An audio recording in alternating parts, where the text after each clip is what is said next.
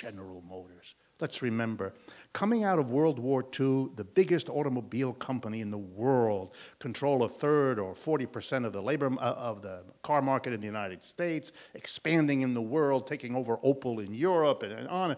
It, it, was on top of everything. It's a defunct, it's a shell of itself now. It's a company that, that collapsed, is taken, owned by the government right now. It, it, it assembled the highest paid, best advisors. Merrill Lynch, the biggest stockbroker in America, had his fingers in every town and uh, nothing. It's a subsidiary of the Bank of America. Nothing. So being under control, making decisions, they really know what they're doing. No, they don't. They make the best decision they can. They're subject to many more. If, if you go to a boardroom, I've done this a few times in my life in big corporations, they're the first ones to tell you.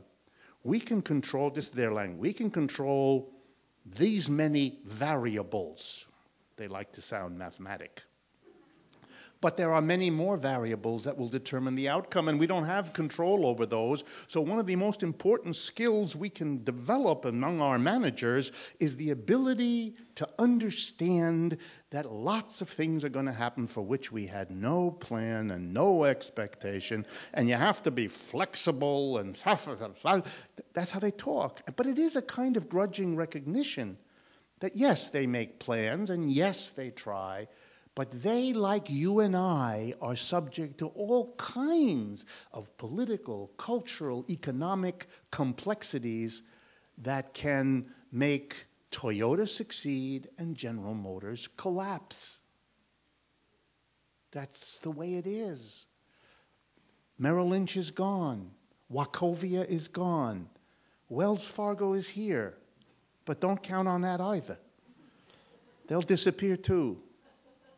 It's not under control. Corporations are, are now moving out of the United States to get to this question because that's the best shot they think for them to survive. They have to produce elsewhere because the American society hasn't been broken down enough to make it profitable to stay here. The wages are not low enough yet. The constraints on what they can do are not few enough yet. But they're counting on centrist Democrats and Republicans to accelerate the process, and that's their position. You want us to stay here? Make it worth our while. And the same thing goes with the market. The market is not growing here. The market is growing elsewhere. So American corporations are going to go there. By the way, they know there are risks in that. There are no guarantees, but it's the best they can figure out to do, and we're going to live with the consequences good, bad, or indifferent, of the gambles they're making. I again remind you, we're going to live with the results of the gambles a tiny number of people are making for doing what's in their interest in terms of profit and business growth. For us to believe that what they do for their interest will, in some magical way, end up being the best for all of us is a level of gullibility we should have outgrown around age six. but some people haven't. You all know, or you should, the history of economics, my discipline. We celebrate as the founder of economics a deeply religious man, a professor of religious studies named, that's what he was, Adam Smith. He needed to come up with a theory to explain how it might be that if every individual economic actor, businessman or woman, worker, banker, if each one is concerned only to secure their own personal immediate interest, it will somehow work out. The man was a deeply faith driven person. If each of us does what's just good for us, it will end up being the best for everybody. It will be as if God, he was a religious man, took each and every one of us by the hand and led us to so define our individual interests that it produced the best for everybody. It would, if you remember the phrase, it's as if we were all led by an invisible hand to do. Okay, this is a charming idea, but it really is a pretty thin rationale for businesses to do exactly what they want, for the rest of us to believe that that's the best outcome we can get. Maybe that was good in the hundred years that the United States rose as an economic power. It doesn't ring anything other than hollow now. And so we should outgrow. Recognize it for the charming image it was, but not to take that serious. It really is an, a variation of trickle down economics. I'm going to take some liberties interpreting our final question. You began the talk by identifying yourself as a Marxist. Yeah. Uh, when it came to the prescriptive part of your talk, you talked about the importance of democratic worker control over the firm. As inspiration, you cited an agreement between the steelworkers and an anarcho syndicalist organization in Spain. The question is what do you think of the economic theories of Noam Chomsky, which I'm going to reframe as Professor Wolff, are you changing your colors from red to black? Uh, no, no. Uh, way too late in my life uh, for such things. No, I'm, I'm a red. Um, and I should mention, and I'm trying to use my facial expressions as part of this, I am a happy Marxist. I, I don't apologize or retreat or anything.